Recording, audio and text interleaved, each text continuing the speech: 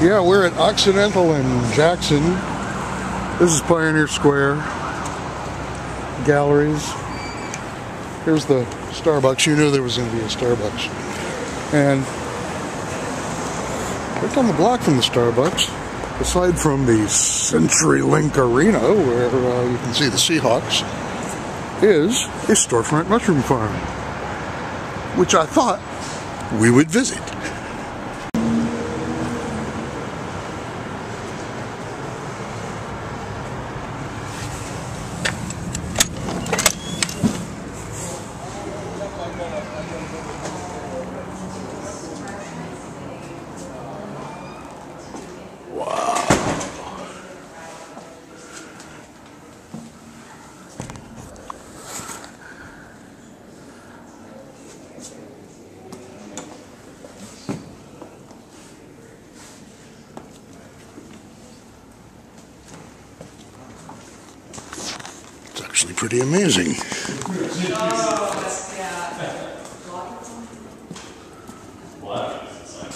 Hi.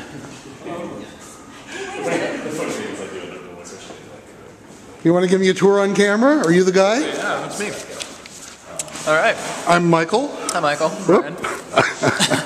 Good to meet you. Sure, tell me about it. Sure. So, this is the greenhouse, as you can see, and it was made by uh, collaboration with Olson Kundig and Schuchart Dow.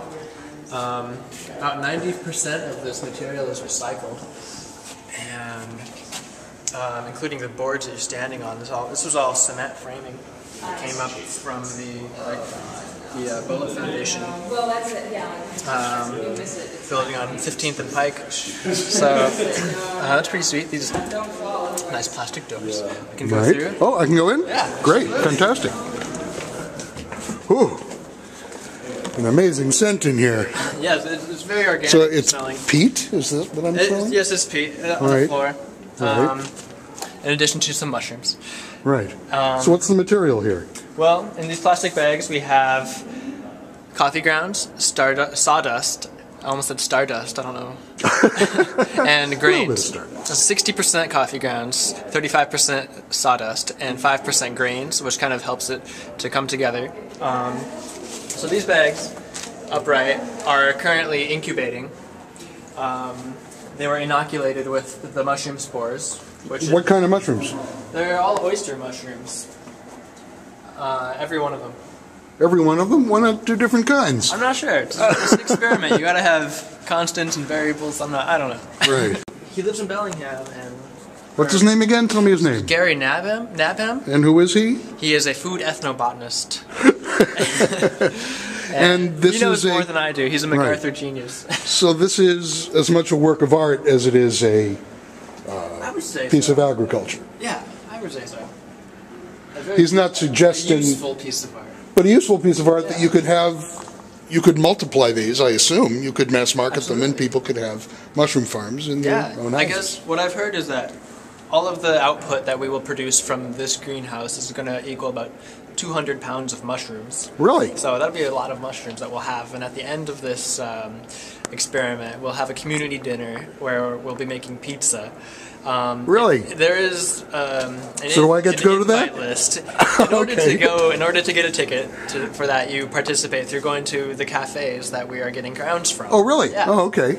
So, and then then you will post you will post your order online, and um, That get sounds more great. you can get more details about that. Okay, the so there's a flyer with Yeah. all that information. Okay.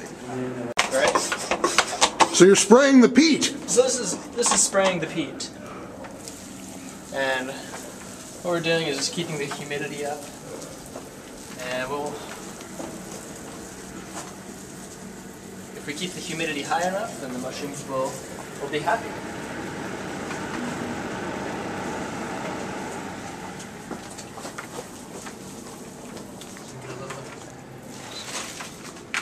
Kind of like in a grocery store, you know? Right. comes from above.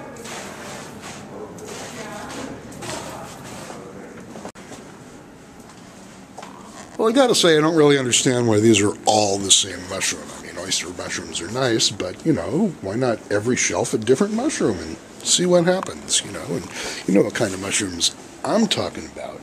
We're talking about the ones that only grow in cow shit. Now, how come all the ones on this side don't have cow shit in them? I don't know. The ones over here, reindeer piss.